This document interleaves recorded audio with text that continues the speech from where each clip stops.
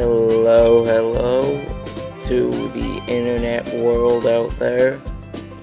Today's video is different from the Downeast Scenic Railway video, which I already have on my channel.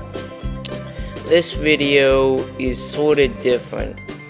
It's about the last surviving 462 that the Maine Central ever built, also known as the Pacific. The Maine Central had this locomotive shipped to them from Alco in 1924 for an amount of $69,000, which in today's money is close to a million. The locomotive would be used on several trains like the Bar Harbor Express and the Kennebec Limited, to name a couple. Throughout its years, it would have many different things changed to it, like several, like bell to smoke box for better hearing, an automatic stoker, etc.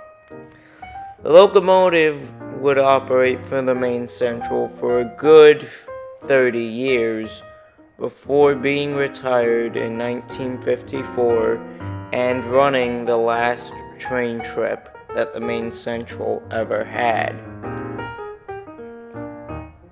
Now, for about 60 years, 470 stayed outside, exposed to the elements in Waterville, Maine with several of its components being weathered down to almost nothing, or some of them being rusty.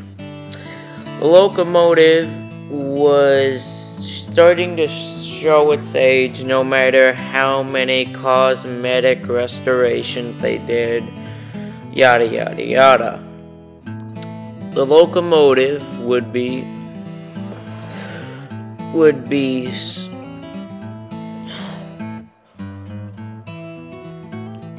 bought from the city of Waterville by the main by the New England Steam Corporation and acquired the last Maine Central er, daily running steam locomotive that was an everyday passenger express engine on the Maine Central. So they bought one of the last, the last passenger locomotive that the Maine Central ever had. Their plan was to fix this 462 back to glory. Now I'll give a brief description on what a 462 means. A 462 is the Whyte notation for how many wheels a steam locomotive has. Four in the front, six in the middle, and two in the back. Hence the word 462. It's a Pacific, and it would operate. When it was bought by the New England Steam Corporation, they moved it to the Downeast Scenic Railways rail yard in Hancock, Maine, where restoration proceeds, as you see in these photos. The locomotive has a slow restoration with its tender its tender trucks, its some of its frames, turbo generator, headlight and backup light, and several other components being restored. The locomotive is slowly progressing and it should be fixed completely and be restored completely by the year 2024 or 2026. The locomotive is probably the last survivor of Maine when it comes to steam locomotives. There are more Maine Central steam locomotives out there like 519 and 501 in New Hampshire, but 470 is the last passenger one.